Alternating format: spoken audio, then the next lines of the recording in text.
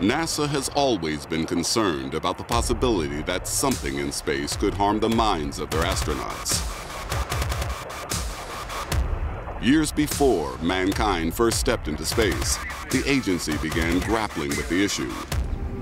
In the 1950s, an American psychiatric report warned that astronauts need to have stringent psych evaluations done because they found that they had bizarre motivations for wanting to go to space. They call it space madness. It's a big deal for NASA. If an astronaut loses it, that's the biggest potential threat to any space mission. Dealing with the threat of space madness is still a part of every astronaut's training. There's a procedure for a psychotic crew member.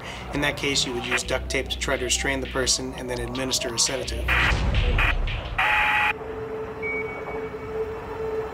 Neuroscientist Dr. Andy Newberg has conducted his own analysis of what's happening to astronaut brains.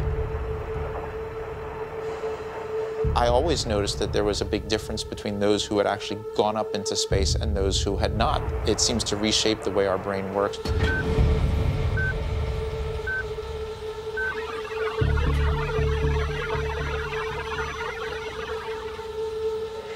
The normal parts of our brain can get all out of whack. Other things that can happen in zero gravity include things like hallucinations, where you might hear something or smell something. A, a, common phenomenon, for example, with astronauts was that they would see flashes of light.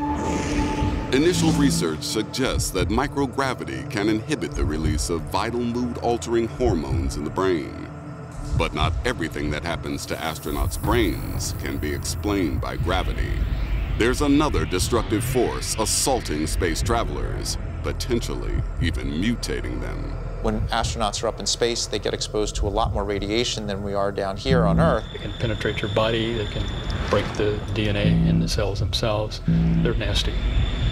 Uh, a destruction from the radiation of brain tissues that will make the brain not work as well. No one knows exactly how badly radiation is mutating our astronauts' brains.